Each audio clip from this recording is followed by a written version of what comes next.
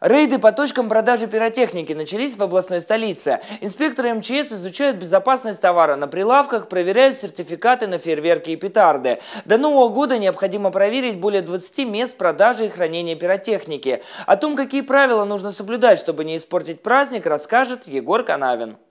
Я для начала хотел бы вас посмотреть документы, связанные с э, проверкой средств автоматической пожарной сигнализации, системы оповещения да, да, и первичных средств пожаротушения. Да.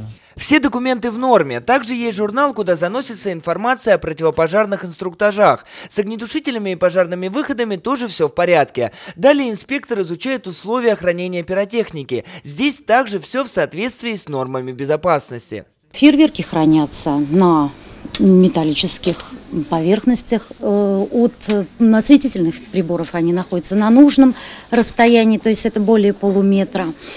На складских помещениях они не хранятся, все выставлены.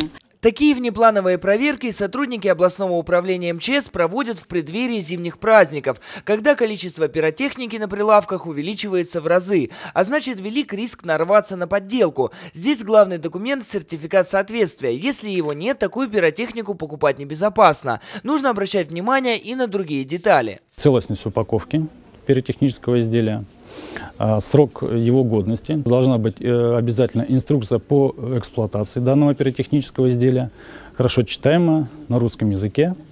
Значит, и э, нужно обратить внимание также на знак сертификации а, согласно требованиям э, технического регламента Таможенного союза, то есть знак EAC.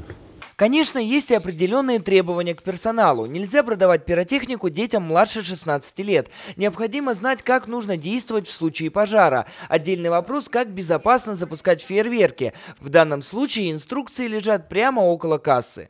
Чтобы несчастный случай не омрачил радость от новогоднего салюта, нужно соблюдать простые правила. Ни в коем случае не наклоняться над фейерверком, не запускать его с рук и не направлять на людей. Кроме того, для использования изделия лучше выбрать заранее подготовленную площадку, при этом соблюдая безопасное расстояние от жилых домов и хозяйственных построек. Подобные проверки продлятся до 17 декабря. За это время сотрудники МЧС проверят более 20 мест продажи и хранения пиротехники. Если во время ревизии будут выявлены нарушения, то недобросовестным продавцам грозит административный штраф, причем солидный. Для должностных лиц до 15, а для юридических до 200 тысяч рублей. Егор Канавин, Михаил Протасов, Вологда Портал.